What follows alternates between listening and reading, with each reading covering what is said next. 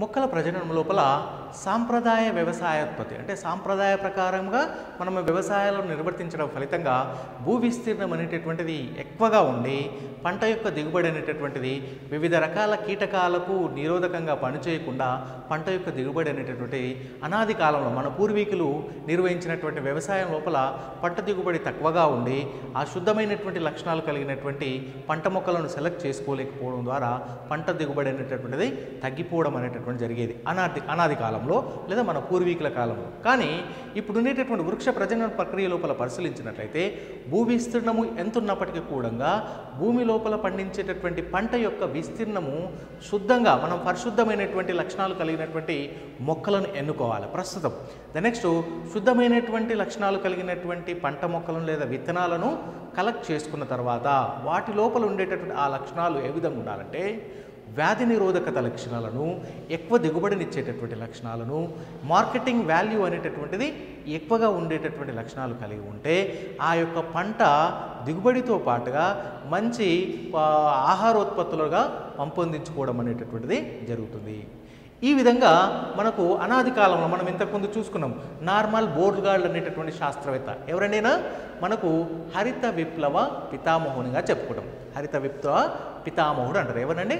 Normal board gourd అని చెప్పవచ్చు మనకు మన ఇండియాలో పరిశీలించినట్లయితే ఎంఎస్ స్వామినాథన్ అనేటటువంటి వ్యక్తి కూడా మనకు హరిత విప్లవ పితామహునిగా తెలంగాణ అంటే మన ఇండియా లోపల హరిత విప్లవ పితామహునిగా చెప్పుకోవచ్చు కానీ ఈ హరిత విప్లవం అంటే ఏంది? మనకి దాని ద్వారా మనకి ఎలాంటి ఉత్పత్తులు పెరిగినాయా మరి పరిస్థితి ఏంది అనేటటువంటి క్వశ్చన్ మనకు ఉంది హరిత విప్లవ ప్రక్రియ లోపల మనకు పూర్వీకులు పండించేటటువంటి శుద్ధ లక్షణాలు లేనటువంటి మొక్కలను ప్రజన ప్రక్రియ ద్వారా ప్రజనన ప్రక్రియ ద్వారా హైబ్రిడ్ మొక్కలను పెంపొందించి ఈ హైబ్రిడ్ మొక్కల ద్వారా అనుకున్న దానిలా దానికన్నా అంటే దిగుబడి కన్నా వంద రెట్లు ఎక్కువ దిగుబడిని ఇచ్చేటటువంటి పంటలను పెంపొందించడము. ఈ వంద రెట్లు పంటలు ఇచ్చేటటువంటి పెంపొందించడం అంటే మనకు మధ్యలో ఎలాంటి లక్షణాలు ఉండాలి.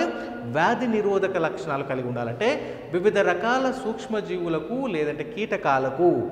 కీటకాలకు వేది నిరోధకత కలిగి ఉండడమే కాకుండా ఎక్కువ దిగుబడినిచ్చేటటువంటి పంటలను పెంపొందించేటటువంటి ప్రక్రియతో పాటుగా మన అవసరాలను మన దేశంలో కావలసినటువంటి అవసరాలను తీర్చడమే కాకుండా ఇతర దేశాలకు ఎగుమతి చేసేటటువంటి ప్రక్రియను అవలంబించినట్లయితే అప్పుడు ఆ యొక్క కాలాన్ని హరిత విప్లవ కాలముగా గుర్తించడం జరుగుతుంది.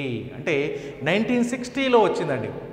నైన్టీన్ సిక్స్టీలో ఎంఎస్ స్వామినాథన్ మరియు నార్మల్ బోల్గార్డ్ అనేటటువంటి శాస్త్రవేత్తలు చేసినటువంటి కృషి ఫలితమే నైన్టీన్ సిక్స్టీ లోపల మనం అనుకున్న దానికన్నా hundred times hundred hundred times పంటల యొక్క దిగుబడి పెంపొందించి వరి మొక్కజొన్న జొన్న ఇట్లా వివిధ రకాల పంటలను ఎక్కువ మొత్తం లోపల దిగుబడిని పెంపొందించడమే కాకుండా ఇతర దేశాలకు ఎగుమతిని పెంపొందించడం జరిగింది. కనుక మన దేశం యొక్క జీడిపి అనేటటువంటిది విపరీతంగా పెరిగిపోవడం జరిగింది. కనుక ఆ జీడిపి దానిని అంటే జీడిపి మీన్స్ మనకు గ్రాస్ రేట్ అనేటటువంటి అంటే దేశం యొక్క ఎకానమీ అనేటటువంటిది ఆర్థిక వ్యవస్థ అనేటటువంటిది వ్యవసాయం పైనే చాలా ఆధారపడి ఉంటుంది. అరౌండ్గా ఫిఫ్టీ టు సెవెంటీ పర్సెంట్ వ్యవసాయం మీద ఆధారపడి ఉందంటే ఆశ్చర్యం వేస్తుంది. అలాంటి వ్యవసాయాన్ని మనము పెంపొందించుకుంటే మన యొక్క జీడిపి అనేటటువంటిది వ్యవసాయ ఉత్పత్తులను పెంపొందించుకున్నట్లయితే జీడిపి అనేటటువంటిది విపరీతంగా పెరిగి మన ఆర్థిక సంక్షోభం నుండి మనము కోలుకోవడమే కాకుండా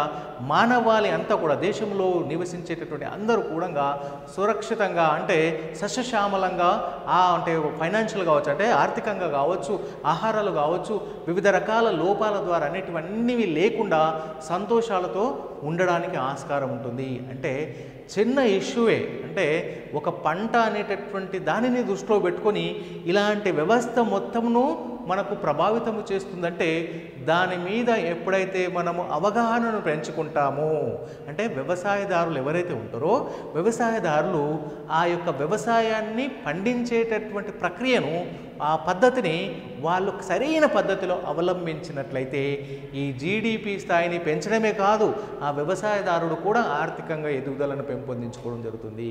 కనుక దేశానికి వెన్నెముక లాంటి వ్యక్తులే వ్యవసాయదారులు అని చెప్పుకోవడం జరుగుతుంది. అయినప్పటికీ కూడా మన వ్యవసాయం ఎప్పుడూ కుంటుబడుతూనే ఉంది. వివిధ రకాల హైబ్రిడ్ రకాలను గుర్తించినప్పటికీ వివిధ రకాల సంకరణ పంటలను గుర్తించినప్పటికీ కూడా అనేక రకాలుగా మనము వెనుకబడుతూనే ఉన్నామని అంటే ఇంకా ఎంతో అభివృద్ధి చెందాలి ఇంకా ఎంతో కొత్త రకాలను అభివృద్ధి చేయాలనేటటువంటి తాపత్రయంతో అనేక మంది శాస్త్రవేత్తలు ప్రయత్నిస్తూ ఉన్నారు. అందులో ముఖ్యమైనటువంటిది వ్యవసాయానికి ఉపయోగపడేటటువంటి పరిస్థితి ఒక మొక్కల ప్రజననము ప్లాంట్ బ్రీడింగ్ అంటారు. ప్లాంట్ బ్రీడింగ్ లేదా మొక్కల ప్రజననం అంటారు. కనుక ఈ మొక్కల ప్రజనన ప్రక్రియ అనేటటువంటిది పూర్వీకులు ఒక శుద్ధమైనటువంటి లక్షణాలు కలిగినటువంటి మొక్కలను కలెక్ట్ చేసుకొని ఆ మొక్కల నుండి లభించినటువంటి విత్తనాలను మళ్ళీ తిరిగి అదే పంటలు అదే పొలంలో నెక్స్ట్ క్రాప్లో పండించేవారు. కానీ అలాంటి ప్రక్రియల ద్వారా ఆ శుద్ధమైనటువంటి లక్షణాలని అనాది కాలంలో మన పూర్వీకులు గుర్తించినప్పటికీ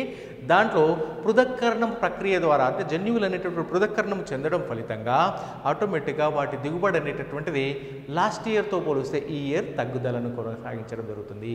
కనుక ఇలాంటివన్నీ అధిగమించాలంటే కొత్త రకమైనటువంటి అంటే ప్లాంట్ బ్రీడింగ్ పద్ధతి ద్వారా లేదా మొక్కల ప్రజనన ప్రక్రియ ద్వారా కొత్త ఉత్పత్తులను పెంపొందించడానికి మనం ప్రయత్నించాలి. అంటే కొత్త ఉత్పత్తులను పెంపొందించడం అంటే ఎలాంటి లక్షణాలు కలిగినటువంటి కొత్త ఉత్పత్తులు కలిగి ఉండాలంటే అతి తక్కువ విస్తీర్ణము కలిగినటువంటి వ్యవసాయ క్షేత్రములో అంటే వ్యవసాయ క్షేత్రము తక్కువ విస్తీర్ణము ఉన్నప్పటికీ అందులో దిగుబడి శాతం ఎక్కువగా ఉండాలి.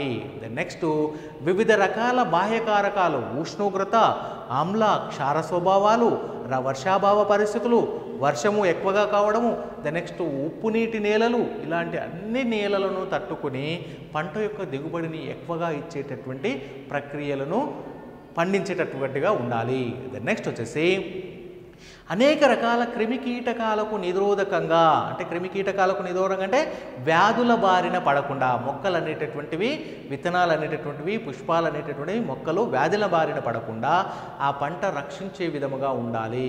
నెక్స్ట్ వచ్చేసి ఆర్థికంగా నాణ్యతను కలిగినటువంటి నాణ్యత అంటే గింజ సైజు సావు ఇంతలా ఉండడం కాకుండా అందులో కావలసినట్టు ఫర్ ఎగ్జాంపుల్ మనకు వరి ఉంది వరి లోపల బి కాంప్లెక్స్తో ఉంటుంది. బి కాంప్లెక్స్ విటమిన్స్ అనేటటువంటి ఎక్కువగా ఉంటాయి. ఈ బి కాంప్లెక్స్ విటమిన్స్తో పాటుగా ఇంకా అడిషనల్ విటమిన్స్ను కలిపి ఉంచి ఆ మొక్కలను పెంపొందించినట్లయితే మానవాళి లోపల సురక్షితమైనటువంటి స్థాయిలోకి చేరడానికి ఆస్కారం ఉంది. కనుక ఈ వృక్షణ ప్ర అంటే వృక్ష ప్రజనన ప్రక్రియ లోపల ఇలాంటి లక్షణాలను అవలంబిస్తే కానీ కొత్త రకమైనటువంటి సంకరపు జాతులను ఉత్పత్తి చేయలేము. కనుక ఈ యొక్క పూర్వీకుల నుండి లభించినటువంటి దేశవాళీ రకాలనే చూజ్ చేసుకోవాలి. దేశవాళీ రకాలనే ఎన్నుకొని దేశవాళీ రకాలను మూలాధారముగా గుర్తించాలి. ఎప్పుడైనా కూడా మనము ఓల్డ్ ఈజ్ గోల్డ్ ఎలాగైతే గుర్తిస్తామో దేశవాళీ రకాలైనటువంటి పాత పాతవా పాత రకమైనటువంటి విత్తనాలు అయినప్పటికీ ఆ లక్షణాలనే అంటే చూజ్ చేసుకొని కలెక్ట్ చేసుకొని ఆ లక్షణాలను ప్రజనన ప్రక్రియ ద్వారా వృద్ధి చెందించి కొత్త రకమైనటువంటి లక్షణాలు కలిగినటువంటి మొక్కలను పెంపొందించుకునేటటువంటి ప్రక్రియనే ఈ యొక్క వృక్ష ప్రజననగా చెప్పవచ్చు. ఇందులో వృక్ష ప్రజనన ప్రక్రియను నిర్వహించడానికి అనేక దశలను కలిగి ఉండడం జరుగుతుంది. అంటే ఓన్లీగా డైరెక్ట్ తీసుకొని విత్తనాలను సెలెక్ట్ చేసేసుకొని కొత్త రకం మొక్కలను తీసుకొని వ్యవసాయ పంటలో పండించడమే కాకుండా అందులో అనేక అంటే క్రిటికల్గా ఉండేటటువంటి పరిస్థితులను అన్నింటినీ అధిగమిస్తూ కొత్త రకమైనటువంటి పంటలను పండించాలి. అంటే ఈ విధంగా పండించాలంటే వ్యవసాయ క్షేత్రం అంటే శాస్త్రజ్ఞులు కలిగినటువంటి వ్యవసాయ క్షేత్రము లోపల ల్యాబొరేటరీ ల్యాబొరేటరీ లోపల ఆ మొక్కలను అనేక పరిశోధనలు జరిపి ఆ పంట మొక్కల లోపల ఎలాంటి లక్షణాలు అంటే వాంఛనీయ లక్షణాలను గుర్తించి ఆ వాంఛనీయ లక్షణాలు కలిగినటువంటి మొక్కలను కలెక్ట్ చేసుకొని వాటిని వాళ్ళ క్షేత్రములో అన్ని రకాల పరిస్థితులను అంటే సస్యాభివృద్ధి పరిస్థితులన్నన్నిటిని పరిశీలిస్తూ ఆ పంటను పెంపొందించి కొత్త రకం ఉత్పత్తులు ఏర్పడిన తర్వాత వివిధ ఋతువుల లోపల వివిధ రైతులకు రైతులకు అందించి వివిధ ఋతువుల లోపల ఆ రైతుల ద్వారా వివిధ క్షేత్రాలలో పండించి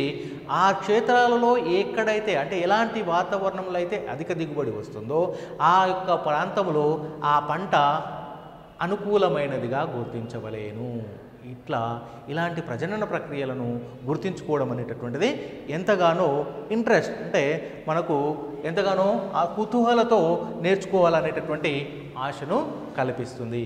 అందులో ముఖ్యంగా ఉండేటటువంటి దశలు వృక్ష ప్రజననంలో ఉండేటటువంటి దశలను చూద్దాం.